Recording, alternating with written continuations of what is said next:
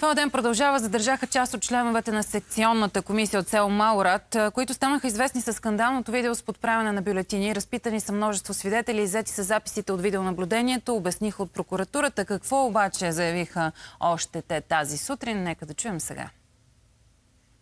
Задържани са две лица. Лице от женски пол, което фигурира в камерите за видеонаблюдение, които са вече обществено достояние, както и лице от мъжки пол, което фигурира неговия глас в случая. Днес ще бъдат задържани за срок до 72 часа, след което ще бъде внесено искане в районен съд Бяла Слатина за вземане на постоянна мярка за неотклонение задържане под страх. Продължава се работата по случая при изясняване на обстоятелства, които изискват от наша страна да се привлекат в качеството на обвиняеми и други членове на комисията, ще бъде извършено в много кратки срокове. Аз нощи започна новата процедура по удостоверяване на машините за гласуване. Екипите на Министерството на електронното управление работиха цяла нощ по финализиране на удостоверяването на съответствието на машините за балтажа в неделя. Процесът протича под наблюдението на експерти от Държавна агенция национална сигурност, определени след покана на Министерството на електронното управление. От ведомството осигуряват възможност на всички граждани да наблюдават процеса в реално време на място. Излъчването ще бъде достъпно от 9 часа в зала Партер в сградата на Министерството. Няма няма да се шегувам за видеонаблюдението и за камерите. А, но пък ще посрещна моите гости, журналистът а, и съосновател на сайта Булевард България Сибина Григорова е тук при мен, заедно с социалния антрополог Харалан Александров. Здравейте и добре дошли. Здраво утро и честит празник. Честит празник, да. Да, ние в качеството на будители се самопоздравяваме. Ми 9 сутринта сме а, добре, добре. Така, щом сме се събудили преди 11, сме будители.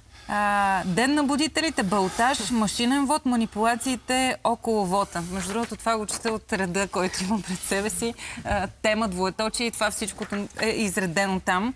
А, в каква реално живеем, ако трябва да си играем с всички тези факти? Защото да, ден на будителите, да, предстои балтаж, да, имаме казус и драма с машинния вод. Не е ясно дали ще успеем или не за неделя. Е, в имаме и манипулации. аналогова хартия на реалност живеем. Отказваме да минем в а, следващото, нормалното време. Не случайно върнахме часовниците един час назад. Такова е усещането за мен. А, сега, ако трябва да анализираме честно, а, има един голям така една институция, към която погледите са насочени и това е ЦИК. 15% и половина вчера изчислиха пак невалидни бюлетини. Има общини с по 40%. Има това, което преди малко показахте. Има Френската гимназия в София, където изчезват едни 120 гласа. И това всичкото е защото някакви хора имаха съмнение, че ако се отпечата бюлетина на машина принтер, някой може да не я погледне и да има хипотетично някаква грешка. В същото време има над 400 хиляди грешки, реални грешки. И ако някой не си свърши чак толкова много работата, защото работата на ЦИК в крайна сметка е да произведе честни избори, според мен той трябва да носи някаква отговорност за резултата. И тук не знаем дали пък няма още такива секции, като в Врачанското село Маурат. Не знаеме, но, но понеже питате каква реално живееме и деня на будителите, според мен е не толкова събудена, колкото превъзбудена реално живееме.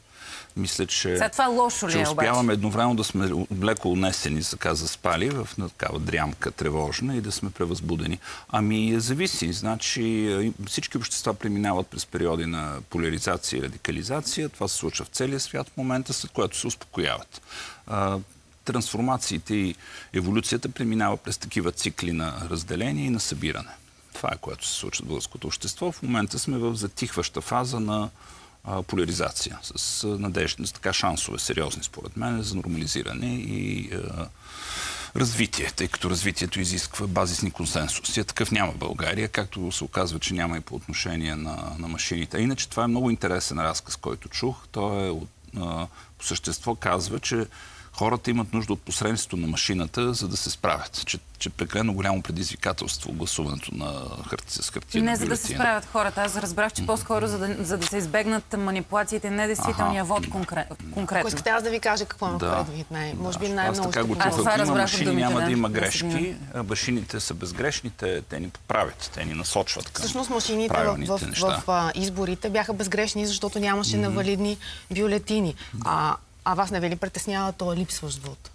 А, но той има обяснение и то не е свързано с машините, е свързано с съвсем категорично. Това е нещо, което съм проучил.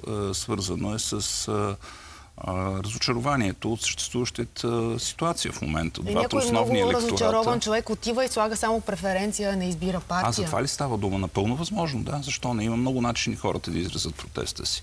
В момента, както става много ясно от резултатите от, от изборите онзи ден, двете основни групи в България, това са привържениците на ГЕРБ и на продължаване промяната и демократична България, са видимо разочаровани от, и те не го крият от това, тази протокоалиция, която се наложи с не много изисканото име сглобка и наказват своите партии. Това е съвършено видимо. Според мен това е абсолютно контролиран вод, част от не, невалидните бюлетини, хора, на които им е казано да сложат преференция. Ние знаем, че с преференциите се отчитат и те слагат само преференция от едната страна. Липсващите бюлетини не мога да вече да кажа къде, защо липсват. Тоест мога да кажа, но предпочитам прокуратурата да каже. И това, което гледахме преди малко в материала, едни хора надписват едни неща. Това не знам какъв протест е и как. Кой, ако има протест, не, не говорим за ти трябва да го... Аз, вашият въпрос беше защо хората не гласуват. Стана ясно, че, че тем разговор е за за... Тръгнахме обаче от машините, ако трябва да, да, да върна разговора. Всъщност машините, да имам... които преодоляват недействителните гласове. За мен беше свръхреагиране, тази свръх реакция това да бъдат извадени машините от вода. Добре, че ще бъдат върнати. Всеки има право да гласува както предпочита. Би било чудесно да и има и машини. Няма да търсим отговорност за 15% и половина невалиден вод. Също нас не ни интересува, че изборите можем да направим в тази ситуация. Мене много ме интересува и аз бих потърсил отговорност от този човек, който е ходил да си играе с флашките. Мисля, че е много важно да се намери отговорността и да бъде поставен въпроса защо беше, така, беше създадена ситуация на паника, а, която доведе до едно неизбежно решение. Разбира се, бих задал този въпрос и на Данс, тъй като това са двете, двата фактора. Значи имаме заместник министри. Двата са свръховластени, който влиза да си прави някакви неща, очевидно в нарушение на процедурите. Смисъл да си върши работата, това са някакви неща. Ами не знам дали той... да си върши работата, след че... като според институция, която се занимава с национална сигурност, това е проблем. Аз много искам да чуя техните аргументи. Негови аргумент сме го чули. Той иска да си поиграе с, с За съжаление, обаче, журналистите искахме да научим повече от този доклад на ДАНС, но имаме ами, някаква малка да, част като детайли, да, защото както нямаше гриф за сигурност, изведнъж се изслуша на закрито заседание. Няма как да го видим целия, защото той не е цял. Това е нали, те публик, а, той изтеча в медиите. на това е Министерството на електронното управление, без да се превръщам в ничи адвокат, това, което ние препредаваме на хората като журналисти, е, че всъщност това е процедура и всичко, което е снимано на телефона е част от процедура, която трябва да извърши самия заместник министър. А, а за мен всъщност по-ключовото тук, не знам дали ще се съгласите, е всъщност до, каквото и да е снимано, както и да е снимано, всъщност можеш ли машината изобщо да бъде подвластна на някаква манипулация? Редица експерти е казаха не. Нали го уточнихме защото това нещо. просто тя не Аз отчита машинно избор. Не съм експерт, избора. според мен не. Според мен, е, според мен е просто има нарушаване. Обаче целият този разговор, между другото, поражда а, една друга дискусия. Слушах сутринта дори и в а, други телевизионни студия. А, трябва ли да се мисля в посока на някакво различно гласуване, друг начин на гласуване, друг начин на отчитане на, на гласовете. Сега отдавна си говорихме, и даже не толкова отдавна, може би, за сканиращи устройства, за някакви други варианти. Трябва ли да се върви в някаква такава посока? Те първо ще се отваря Аз мисля, че е измислено. Има избирателен кодекс, добър, лош. Той просто не беше приложен. Тоест, ако ЦИК се беше свършил работата първо по информационна кампания и да направи добра кампания, в която да каже на хората, първо гласувайте, второ как да гласуват, ако избират преференция, че задължително трябва да изберат и партия. И второ, ако те все пак не се бяха, не участваха в тази игра, заедно с Данс, Делян Пеевски, Бойко Борисов и всички останали, които ревнаха, че няма да има избори, ако има машини. Защото аз въобще не съм сигурна, че и на втори тур ще има машини. Е, нали, има решение на съда? Има решение, но се да, извършва процедура и има срок, който не е сигурно дали ще стигне. И има министър, който не е ясно дали иска да, да, да подпише. В такъв случай наистина е важно да има, еми това си е въпрос на, на power game между различните областени фактори в, така да се каже, доста дезинтегрираната група на, на властта в момента. Но съвсем сигурно е, че този въпрос трябва да бъде разгледан разумно, с, в малко по-спокойна ситуация, ако доживееме такава, което не се очертава в обозримо бъдеще и трябва да се вземе някакво, що годе приемливо за всички решения и разбира се да помолиме овластените фактори министри, заместник министри, хора, които се занимават с национална сигурност, партийни лидери, да не ни плашат и да не а, създават такива неприятно и инциденти и противопоставяне, особено в навечерието на изборите, тъй като сме достатъчно поляризирани и достатъчно противопоставени вече. Като и ако може да помолим президента да не прави избори в вакансии между а, празниците, т.е. между учебните дни на децата по време на празниците, защото тази избирателна активност, която видяхме, първо, че е много ниска, ниска сравнение с предишната. Дори в София, само ако дам за пример, миналия път на местните избори бяха гласували 42%, сега са 38%. Това е така, но тук има много важен фактор и хубавото време. Аз познавам десетки хора, които избраха да отидат не за гъби, понеже е сухо, но на слънчето. Не, не, няма гъби още, но ще има. А, като завалят дъжд, есените дъждове, но тъй като няма как да помолиме времето да се развали или да е подходящо за избори, вероятно, вероятно ще останем с а, президент. Аз все пак Който е много близо че... до слънце при това. Аз нали? все пак това вярвам, че слънцето не пречи на, на това, но когато слееш 3-4 дни, става малко да, по-трудно да, да отидеш до луната. Иначе слънцето помага по принцип. Може и пеш да отидеш, да, да не да. задръстваш. Може да отидеш и да се върнеш. Добре. А, сега, само искам да затворим темата с а, това видео, което вчера излучахме няколко пъти в ефира ни и се превърна наистина в водеща тема. как излизаме от тази картина, която а, и вчера мои събеседници казаха, това не е изолиран случай, просто сега го виждаме нагледно а, от а, за Врачанското село Маурат. Говоря Колеги, пуснете покритието, защото и, гостите тук в студиото се... Е, ето това видео. А, господин Александров, като социален антрополог.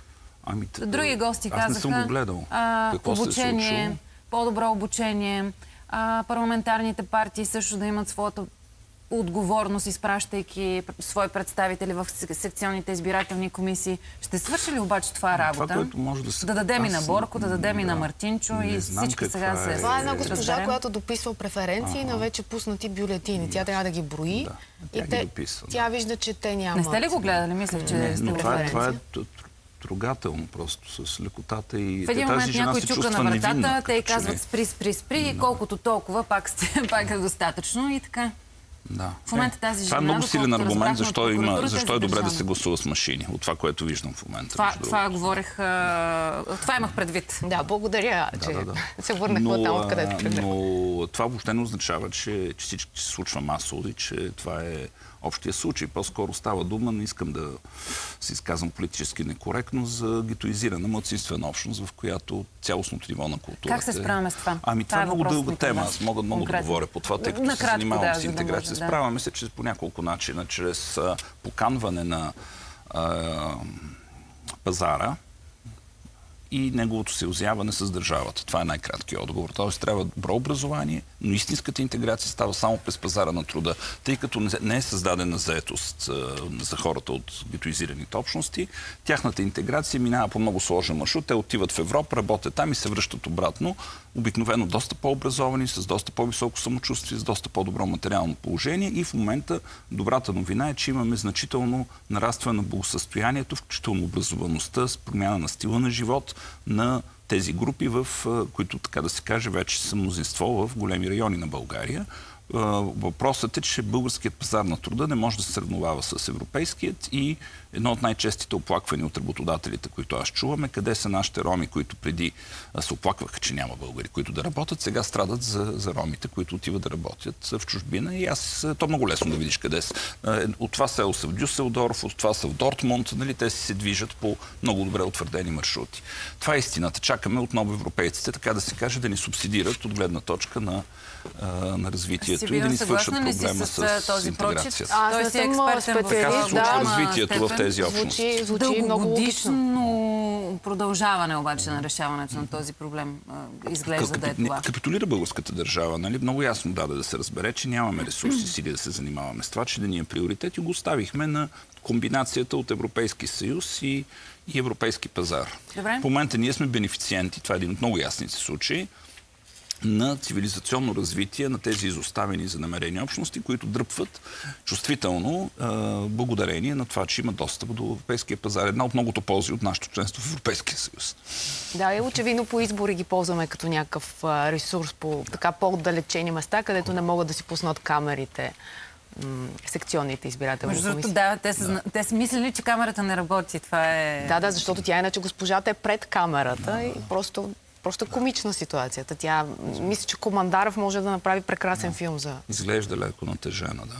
Добре, сега да погледнем и към резултатите. По-скоро поглед към балотажа в неделя. Прогноза е много трудно да се прави, казват социолози. Обаче през политологичния, чисто и журналистически анализ тази подкрепа, която имат в, има в момента Ваня Григорова от има такъв народ, дали ще получи изцяло и от ГЕРБ и се хващам за изявлението вчера на Борисов, който хем каза, че предпочита сякаш да се гласува за Ваня Григорова, хем обаче някак остави вратичката хората да гласуват по съвест.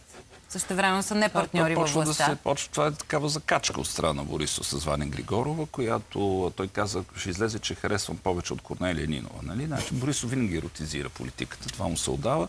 А, не е тайна, че харесва красиви жени. А що се отнася до до това какво ще изберат да правят избирателите на ГЕРБ, които очевидно са определящи, според мен зависи изцяло от тях. Те трябва да решат те, те, те много ясно показаха, между другото, специално в София, има голяма част от избирателите на ГЕРБ, които са гласували за други кандидати, което ясно означава, че дават негативна обратна връзка на изборите на, на лидерството си, на партията. Това са абсолютно свободни хора, които решават какво да правят.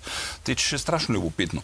А иначе, ако питате мен, най-интересният анализ не е толкова политологичен на тази нова ситуация, е социологически. Ние за първи път имаме и то благодарение на оттеглянето на голямата центристка партия от София, която ГЕРБ, която така да се каже, снемаше социалния конфликт. За първи път имаме съвършено съвършено ясно класово разделение в, в двете кандидатури. Има представител на едрия капитал и разбира се представител на елита, на, на бих казал наследствения елит в, в лицето на Васил Терзиев, тъй като той е трето поколение елит. Нали? Дядовците са от държавна сигурност, родителите също. Той е преуспял предприемач, който сега е на път да стане преуспял политик. Това е класическа елитарна кандидатура. От другата страна имаме народен трибун. Нали? Имаме човек, който е защитник и изразител на интересите на, така да се каже, губещите от прехода. Нали? Ако приемеме, че представители на едрия капитал спечелилите. И това е едната разделителна линия. Другата разделителна линия е а, нашата срещу вашата, племенното деление, в което България работи. Третата разделителна линия е глобално, локално. Извън съмнение, Григорова в много по-голяма степен изразител на локалните интереси на хората, които живеят тук и на техните социални проблеми, нека така да кажем, защото това е, това е ролята на профсъюзите. Нали? Тя е синдикалист и разбира се партията на, на глобализацията, на, на глобалното така интерес, в случая економически, но и политически и културен, тъй като глобализацията е много повече от економика, нали, много повече от корпоративен бизнес, е Терзиев. Това е много чист вид разделение социално, което е ново. Значи, така да се каже, най-накрая България е на път, поради оттеглянето специално в София на центристската партия, която някакси снемаше и удържаше тези конфликти, да развие същинска, същинска социална класова, в най-класическия марсистски смисъл, среща, като тук голямият ти въпрос винаги е дали служителите са готови да гласуват за партията на, на собствениците, на предприемачите.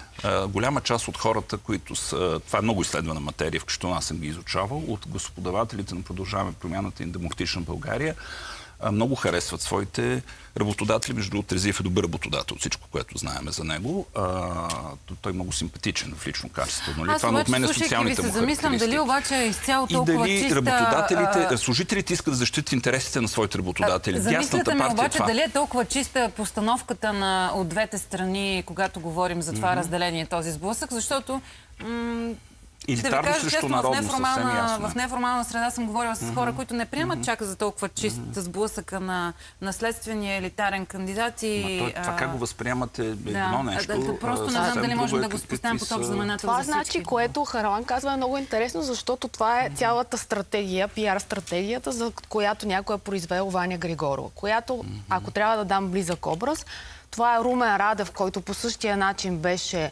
а, героизиран, включително с професията му. Нали, тук имаме една защитничка на слабите. Ако забелязвате, тя е винаги в сини костюми. Синьото е цвета на хората, които работят за нас. Това са, а, са униформите, не случайно са сини. Ваня Григорова винаги е с такива.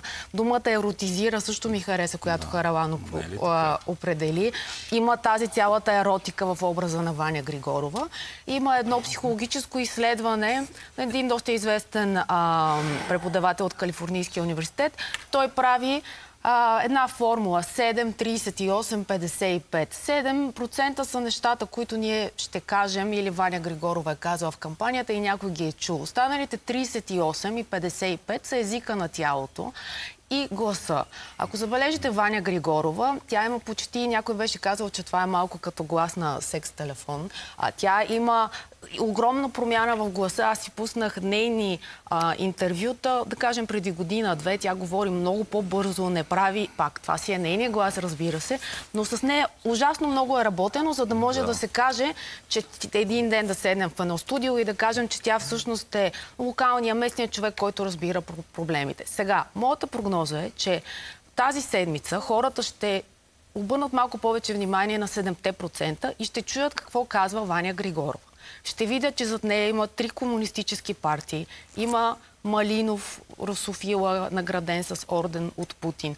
Има Волен Сидеров, има Румен Петков. Само не случайно вчера се а, а, във Фейсбук се шервате Николажи, защото това е най-бързия начин ти с една снимка да разкажеш цялата дълга история. Вчера слушах интервю на, Ва, Ва, а, на Ваня Григорова с огромен интерес, между другото, по национална телевизия. И тя, как, тя обеща да остави хората по кварталите, да ги затвори в кварталите, за да спре трафика. Каза, човек не трябва да обикаля, да ходи на работа, да води децата на училище на спорт. Това много задръства града. Най-добре е да направим всички квартални училища елитни. Питаха как ще направим училищата елитни, като ги ремонтираме, каза тя. Мисъл, това е един поток на съзнанието, в който, който, да, който според мен тази седмица хората вече ще заслушат, защото опасността да се избере някакво прокси на Елеонора Митрофанова е огромно. И отсреща има Васил Тързиев, който между другото не е наистина много лесен за идентифициране с него. Защото аз как си представям, че избират хората? Гледат двама души по телевизора и си представят с кого, примерно, биха искали да пият кафе. Ваня изглежда народняшка, така скъсяваш дистанцията с нея, докато Васил има да, така по-студен образ и всъщност обаче това е първо сигналното. Тук нататък идва вече, нали, малко, както се казва, трябва да се четат и ситните надписи. И при Ваня Григорова ситните надписи водят към посока на развитието на България, която ние не искаме. В този смисъл аз въобще не мисля, че е трудна Между прогнозата. Другото не е толкова трудно да се идентифицираш, защото изследванията в групата на служителите показват, че стратегията, която е приложена към Васил Терзиев, която, която е работено много, инвестирано много, е да бъде представен като бизнес герой от американски тип. Нали? Това е така харизматичният предприемач. Това, че не е харизматичен, не е проблем, защото харизмата... Той е бизнес герой. Така е, да, точно така. Е харизмата се съдържа в неговата, в неговата биография. Той е червен принц, който се превръща в син принц. Нали? Това е трансформацията на а, политическият и репресивния капитал на службите от комунистическата държава в бизнес капитал, която отново се трансформира политически капитал, за да се затвори цикъл. От другата страна, нали, От това е страна, свободният човек, да. който разполага с някакво образование, да, разполага да, да. Става с дума, опит. че а, само една уточнение, когато Финал. говорих за еротизация, имах предвид а, изявлението на Борисов, който очевидно харесва повече красиви жени, отколкото красиви мъже. Нали? Това, е, това имах предвид, а не толкова мъркащия глас. Тогава как да си обясним не е много коректно, за кандидата? Не е много е коректно да, да а, сравнявате а, и то в ситуация на предизборна, струва ми се изключително непочтенно да а, правите вношение, че гласът на един от кандидатите е като от секс-телефон. Не, това е а, нещо, което а, каза професор Любомир Канов. А, и аз okay. го цитирам. Това въобще не са okay. мои думи. Професор Любомир Канов е... Добре, много... специалист по, по секс-телефоните, разбирам. Не, да. той е психиатър в Америка, много добре знаете. Благодаря ви. това е някаква негова експертна оценка, приемам аз, не е да, мое съждение. Да. Иначе, да. Благодаря ви много. Беше много любопитен и интересен анализ. Благодаря ви, ще ви очакваме отново. А ще ви очакваме и след Балтаж, за да видим това, което искам да направя като прогноза е, че ГЕРБ ще работят тайно за Ваня Григорова, защото искат и другите да бъдат бити, не само те. Аз мисля, че съвсем явно. Аз мисля, че ако, ако бъдат оставени естествените си настроения, те виждат като много по-голям проблем по силата на идентификацията им с местното. Те са местническа, почвеническа, народняшка партия. А, продължаваме промяната, които са очевидно представители на глобалният корпоративен капитал.